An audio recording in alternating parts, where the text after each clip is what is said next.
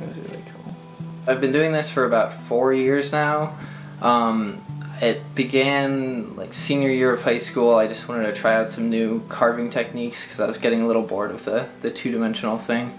Um, so I was like browsing online and I found this like awesome dude named uh, Scott Cummins and his pumpkins just like blew my mind. He'd been doing it for like 10 years and had all these galleries of like pumpkin after pumpkin. Um, and so I like, I, I was like interested and he had these great tutorials. Um, showed me what kind of tools to use. I use um, clay sculpting tools. They're called ribbon tools. It's just a little ribbon of metal um, with sharp edges and you just scrape it away one layer at a time. Most of my um, pictures that I do are tributes to movies or TV shows that I like.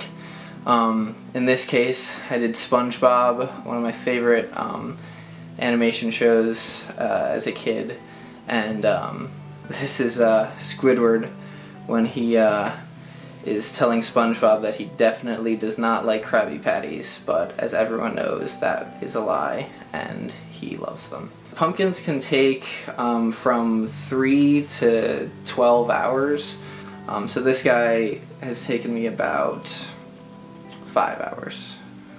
Um, the pumpkins, if you preserve them right, can last maybe like a week.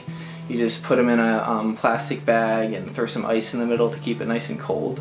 Um, and then if you throw it in the fridge every day, yeah, this can this can last a week. I think it's fun. I think people are like automatically surprised that your medium is a pumpkin, so it like makes it ten times more fun to like have uh, like a cool looking finished product. And I think it's I don't know. It's it's also kind of nice that it isn't permanent in a way, where you just have to like make it say you're done, take some pictures, and then it rots or you throw it away, you smash it or whatever.